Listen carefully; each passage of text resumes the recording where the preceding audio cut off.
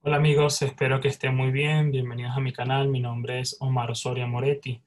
En esta ocasión quisiera conversar con ustedes con un libro que me parece muy interesante y viene del ámbito pues de la historiografía. Usualmente en Venezuela, bueno, hemos tenido una serie importante de textos que traten la historia de nuestro país. Eh, quizá en el siglo XX haya personas que recuerden algunos textos memorables como los textos de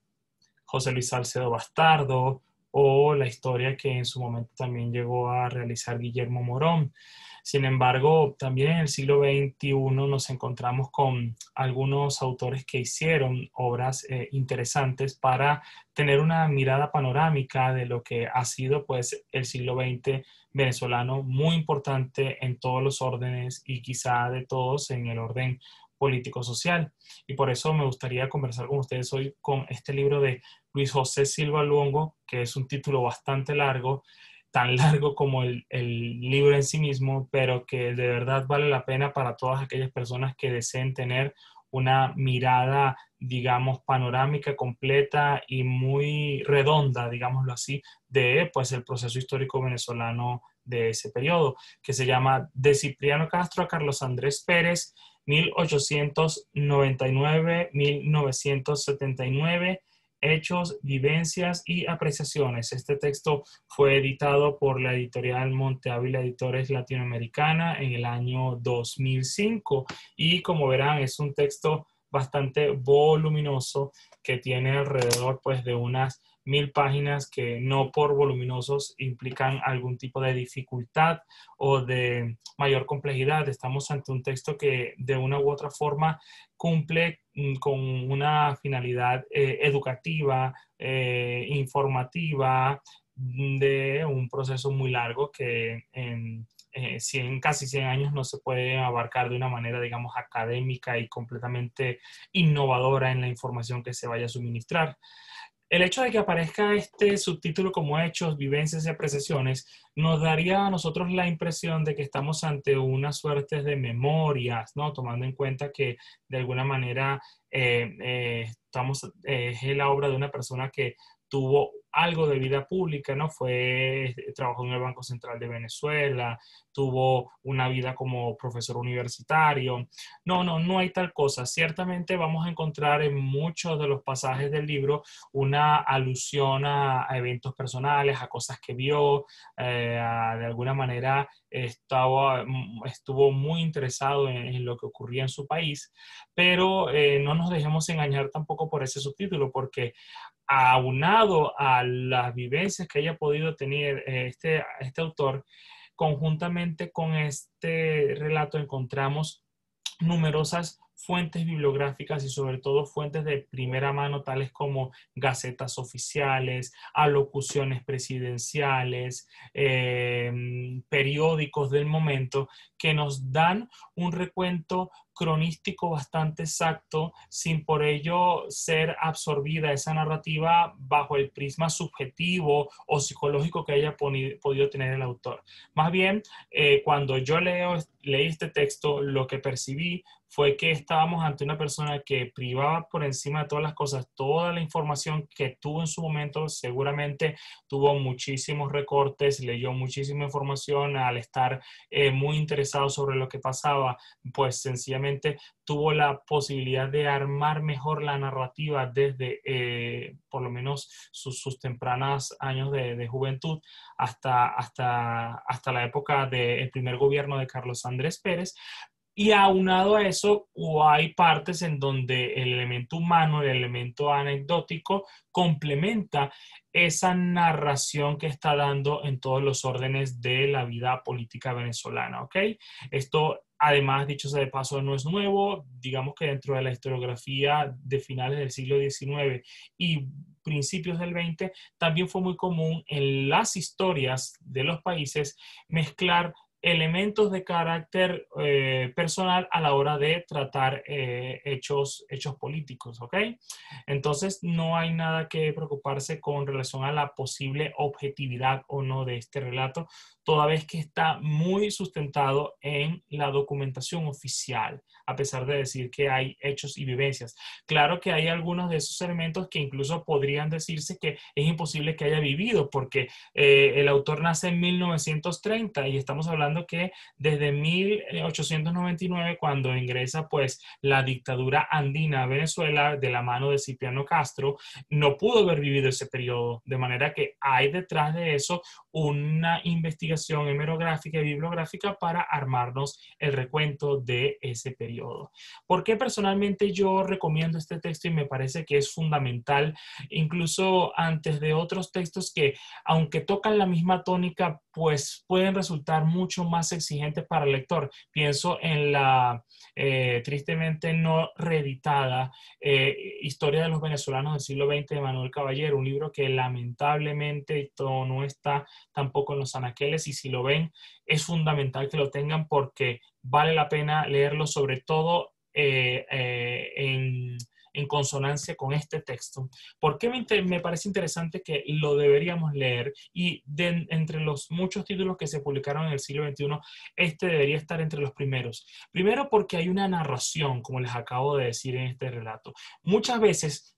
cuando nosotros no tenemos una idea de conjunto de lo que es un proceso histórico, la narración es el elemento fundamental y primordial para darle sentido a todo lo que hemos visto. De hecho, una de las características que tenemos nosotros como seres humanos es que somos eh, seres en, narrativos, somos personas que de alguna manera nos conectamos y le damos sentido al mundo a través de la narración. La narración fue la primera forma de darle sentido al mundo y con esto no voy a seguir entrando en materia porque me desviaría. Lo que quiero decir es que el hecho de que haya una narración de carácter en muchos sentidos cronística, sustentada en toda la documentación oficial, bien sea periódicos o eh, gacetas oficiales, nos permite a nosotros elaborarnos una suerte de épica de lo que fue la nación venezolana durante el siglo XX. Y esto es un elemento fundamental porque nos ayuda a entender quién vino primero en el ámbito del ejercicio del poder en Venezuela, quién vino después, qué hizo el que estuvo primero, qué hizo el que vino después y en qué ámbitos hizo o dejó de hacer esa persona cuando fue sustituida por la siguiente. Entonces, vamos a encontrar lo que hicieron cada uno de estos gobernantes en muchas áreas de la vida que incluso nosotros, si queremos buscarla de manera, eh, digamos, selectiva, la podemos encontrar. Entonces, si yo, por ejemplo, quiero saber qué hizo el gobierno de Rómulo Gallegos en materia educativa, aunque sabemos que el periodo en el cual él ejerció el poder fue bastante breve, seguramente algo se va a decir. Y allí es donde nosotros encontramos un relato bastante fidedigno, general de los hechos que ocurrieron. Y eso nos da a nosotros una sensación de ubicación ante algo que ya no está ante nosotros. Y eso es un elemento fundamental. Si nosotros no tenemos información de lo que pasó desde el punto de vista objetivo, esto es qué hizo tal persona, dónde está documentado, qué, cuáles fueron las palabras que dijo. Si no estamos en ese primer nivel, que para muchos historiadores profesionales podría ser rechazado por su carácter cronístico, no tendríamos la habilidad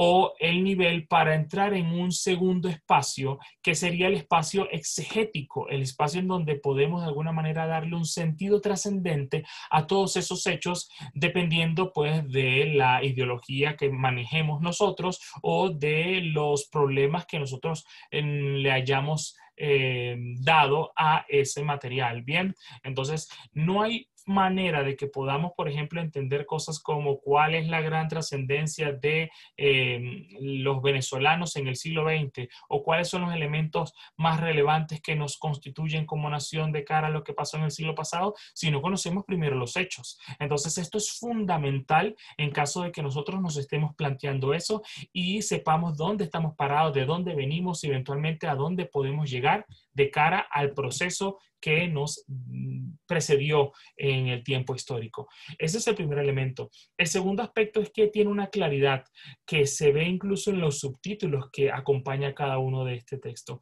Muchas veces nosotros podemos estar leyendo páginas y páginas y páginas, pero en ese interín la información sobreabunda, es tan, eh, digamos, es tan abrumadora que muchas veces no podemos saber en dónde comenzó una cosa y dónde comenzó otra. El texto de Silva Albongo en este sentido mm, es muy amable y está diseñado para que los lectores, sin importar la edad que tengan,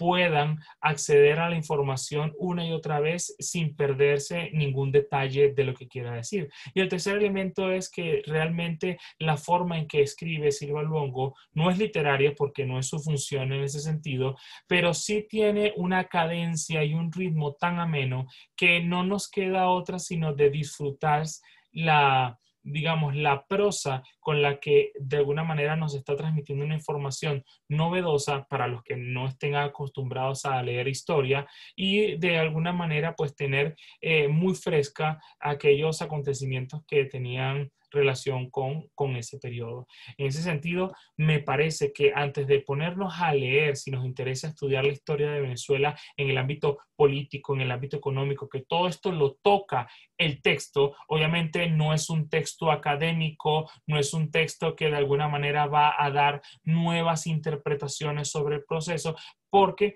en ese sentido es un texto que tiene una función divulgativa y de sintetizar una información que está de alguna manera desperdigada eh, en las hemerotecas, en los libros eh,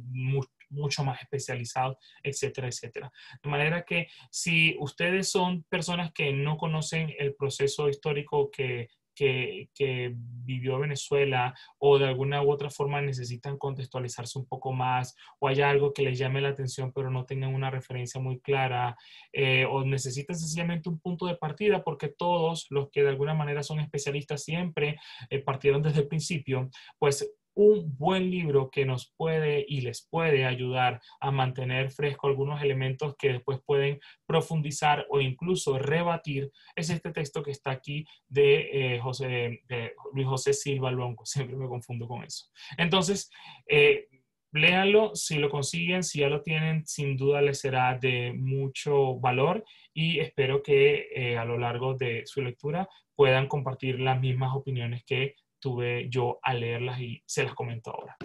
Bueno, nada, esto era todo. Si tienen algún comentario o duda, me quieren hablar del libro, pueden comentar en el cajetín de comentarios. Eh, si te gustó el video, pues te recomiendo que hagas, eh, te suscribas al canal, que eh, le des clic a la campana. Yo voy a estar subiendo videos constantemente en muchos temas de literatura, de historia, eh, de libros en general para compartir con ustedes. Y si hay algún comentario, pregunta, insisto, o algún texto que les gustaría que conversáramos aquí, eh, pues con mucho gusto estoy abierto a escucharlos.